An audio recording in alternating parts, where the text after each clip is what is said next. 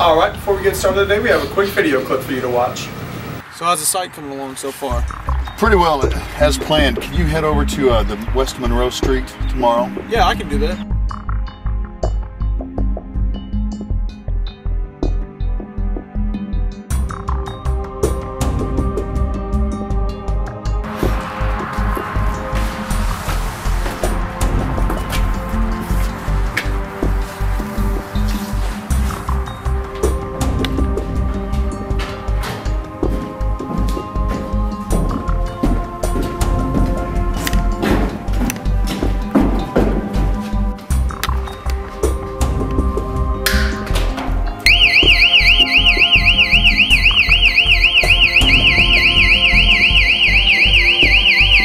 We've got that one. Uh, we've got two others that we've got to get done quickly. Right. Um, there's that big two-story house. Oh, hold on, I'm a text. Hold on.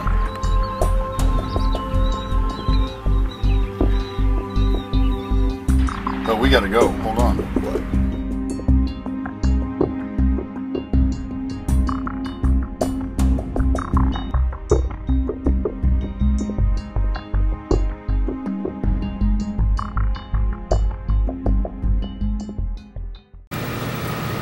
As you may know, this scenario occurs daily at home construction sites across the United States, except for one big difference, the thieves are getting away with it. Here's an article that initially called our attention to the problem in Joplin, Missouri after the tornado disasters last May. While they were rebuilding the homes, many thieves were going along and stripping the copper wire out. Our research indicates that copper wire is stolen from all different types of places, such as muffler shops, catalytic converters, and even underneath the streets. Copper is also being stolen east to west coast. In this article, this poor woman's house was stripped for $32,000 worth of copper before labor costs. And the thieves got away. But the big question is why? As you can see from about 1980 to 2003, the copper prices held relatively steady and then took a dramatic increase. An interesting note is in 2009 when copper prices fall due to the world economy stalling and now are back on the rise and higher than ever. Our research indicates that the typical home contains about 1,200 feet of 12 to 14 gauge copper wire. At a conservative estimate of 45 cents a foot, this translates to a loss of material at $540 before labor costs. We surveyed electrical contractors, did web searches and patent searches to determine if there was any products out there like ours. There are none. The only ones that are out there are using motion detection and uh, protecting substations and light poles. Our possible solutions. Number one is to use motion sensing camera connected to a video recorder with an audible alarm. We threw this idea out though because nosy neighbors and animals may cause false alarms and also your video does no good once the copper is gone. Our second was to use motion sensors triggering lights and alarms, but we also threw this idea out because once again nosy neighbors and animals may trigger false alarms and also um, alarms may not work in remote locations. Our third was to detect if someone had cut the wire, then trigger a GSM module to call the contractor and sound an audible alarm just in case. We approved this method. Our solution was unique in security systems that no motion detection is used. Instead, we will detect when the wires are cut sensing a short using a microcontroller. In early testing of this solution, we found that you could easily beat the system by clipping one wire at a time, therefore not triggering the alarm and not calling the contractor. So we, lurched, we searched for a more foolproof method. Our method was unique in that we considered the wire's capacitance. And capacitance is the ability for a device to store an electrical charge and exists in all electrical circuits. Stray capacitance can be found when any two adjacent conductors are present, as in standard electrical wire. While stray capacitance is not normally desired, we're going to use this undesirable phenomenon to our advantage to see if the wire has been cut. Stray capacitance varies directly with the wire length. The more wire you have, the more capacitance you have. In the reverse, the less wire you have, the less capacitance. Therefore, when someone cuts the wire, we will be notified. Now I'll hand it over to Dustin Minskin to talk about our solution. Thank you, Nick. We developed a flowchart to illustrate how our system would work. The contractor will arm the alarm, and then test the capacitance and use this value and store it as a reference value.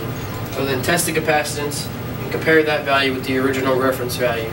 If it breaks out of our tolerance range, then they will turn on an audible alarm and call the contractor. At the end of the day, the contractor will arm the alarm by pressing a switch, The microcontroller will then test the capacitor and store this reference value into memory. The microcontroller will then test the capacitance a thousand times per second, comparing this test with the original reference value. If there's a significant change in the capacitance, then the microcontroller will then trigger an audible alarm and call the contractor via GSM module. In order for our system to work, we had to determine if the copper wire had capacitance and if so, how much. We surveyed certified electricians and found that the bulk of wire used in homes is 14 gauge wire. So we purchased two rolls of 50 foot 14 gauge copper wire and tested capacitance. It turned out to be 1,820 picofarad. We then tested two rolls of 50 foot copper wire connected in series to see if the capacitance would change. As we expected, it doubled. During our test, something we didn't expect was a significant change due to temperature.